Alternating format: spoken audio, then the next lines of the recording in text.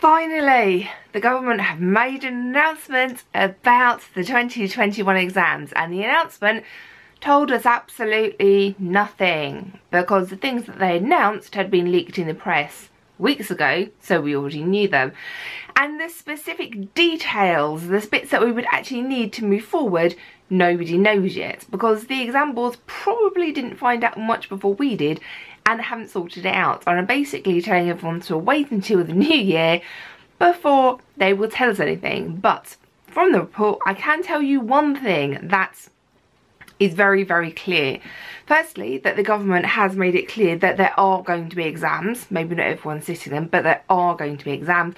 And secondly, once the exam boards decide, make a decision, you will have another set of mocks. So even if you have already done your mocks, once the government's make a decision, um, once the exam boards make a decision about what the government's told them to do, your schools will respond to that by giving you another set of mocks.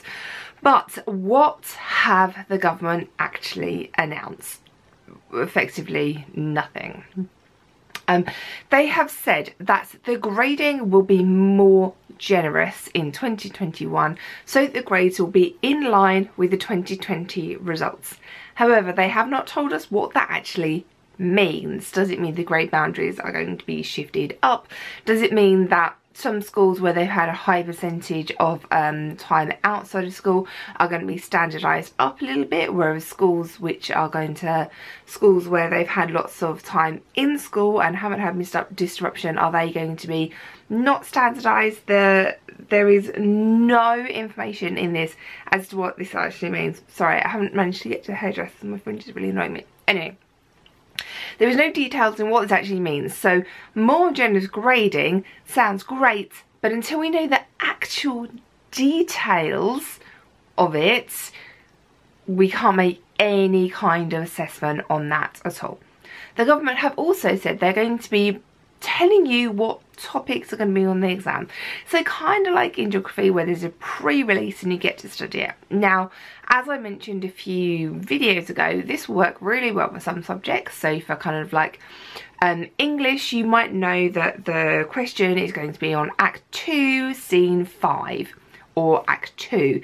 So you can ignore all of the other bits of the play or the book or you might know that it's going to be on Daisy.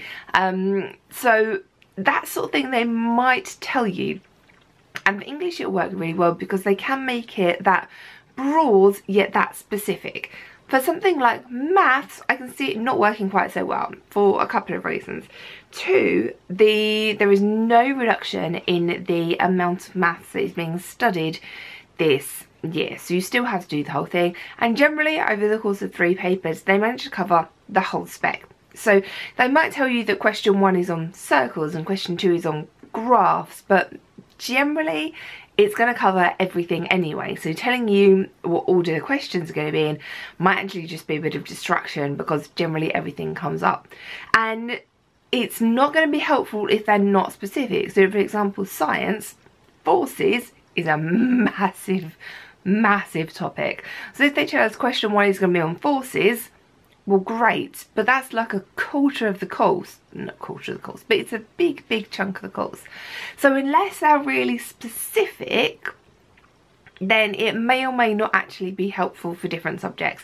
And this is something that the exam boards are going to have to discuss themselves, how specific, how general, how broad they're going to be, because the government as far as I'm aware, hasn't given them any actual direction on this.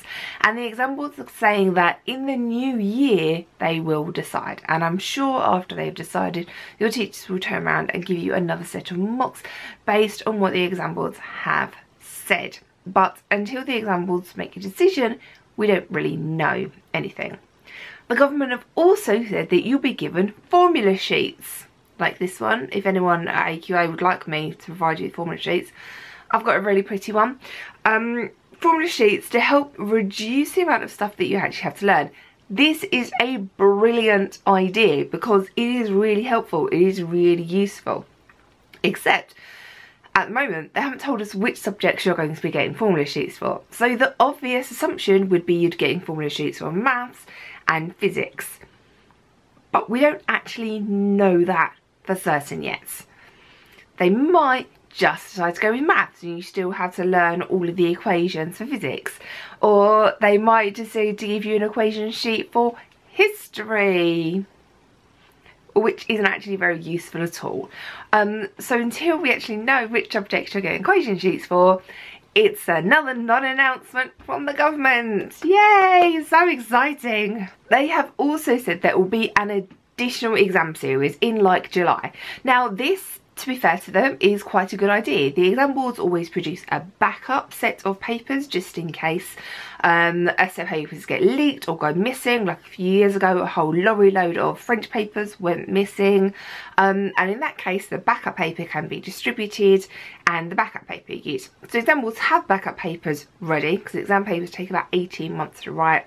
So they're saying when the exams are going to be in June, there'll be a backup exam series in July. So say for maths that you're able to sit two out of three papers but you can't sit paper three. You get the chance to sit paper three in the July exam series. So there is a second chance to sit the exam series. And this is actually a really good idea. The government are making a new expert group to look at variations amongst the country which to be fair, they could have done a long time ago. So it's a good idea, but it's probably a little bit too little, bit, little bit too late. Because who is going to be on this group? What powers are they going to have? What data are they going to be looking at? How much um, influence are schools and teachers going to have into this group? Um, so until we know more about this group, I'm kind of like, it kind of seems like a good idea, but you could have done this ages ago.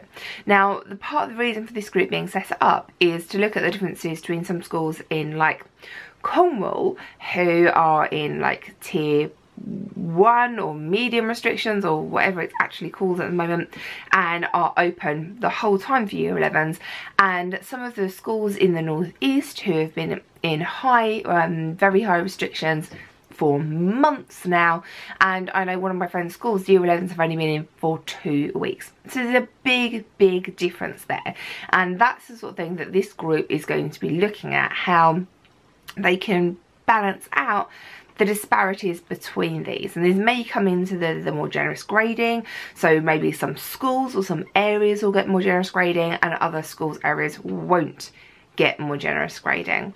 The other thing that the um, government have said that not only will you get two chances to sit the exam, um, so sit the exam in June, sit the exam in July if you miss a paper. So you might have like a couple of papers sat in June and another paper sat in July if you're isolating or your positive test case or bubble pops or anything like that. And the expectation is that most students will be able to sit some exams at one of these two opportunities. However, if you can only sit, say, two out of three exams in the first and you can't sit the exam, the, the, the third exam in the second exam period, they will give you a grade based on those two papers. So based on the papers that you are actually able to sit. So that's happening. And then for the people that are not able to sit any of the papers in either of the exam slots, then they're talking about the similar systems we had last year with centre assessed grades, which have been um, vigorously checked, which means nothing, because we know what the vigorous checking did last year, it moved everything up and down. So that is the non-announcement that the government has made because all of the interesting bits were leaked ages ago um, and then all of the details that would have filled in the interesting bits haven't actually been decided by the exam board yet. So happy nothing announcements. Oh, the joy. Um, anyway guys, it's nearly Christmas. Um, it's raining here, it's cold, it's dark, but it's a bit sparkly. I even went and got like super sparkly nails. Super sparkly nails. I don't know first second I was like anyway I've now literally just sent it into waffling so um good luck guys. This will not last forever. This will be over at some point and we will be allowed to go out and see each other again. Um I will be here with you literally every single second of the way. Ouch